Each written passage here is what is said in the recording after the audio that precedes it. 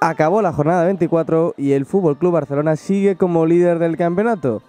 El viernes finalizó con el empate entre el Sporting y el Rayo Vallecano. El Real Madrid venció al Athletic Club en un choque en el que volvió a aparecer Cristiano Ronaldo, que anotó dos tantos en la victoria del equipo merengue. Además, Barán fue expulsado por primera vez en su carrera y no estará ante el Málaga. Mientras, Cherise salvó la cabeza de Gary Neville. El futbolista ruso marcó el tanto de la victoria del Valencia ante el español por 2 a 1.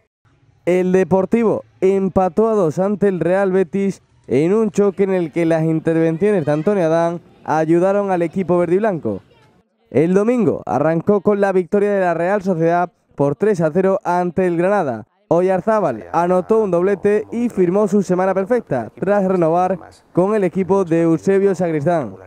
El Sevilla sigue sumando puntos en el Sánchez Pizjuán y esta vez superó a Las Palmas por dos tantos a cero.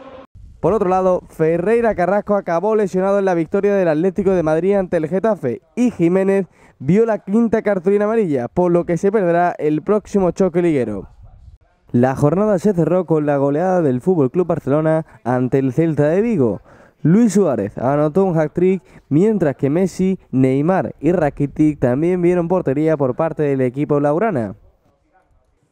Cabe recordar que este miércoles volverá a jugar el equipo de Luis Enrique. Lo hará ante el Sporting de Gijón a las seis y media en el Molinón.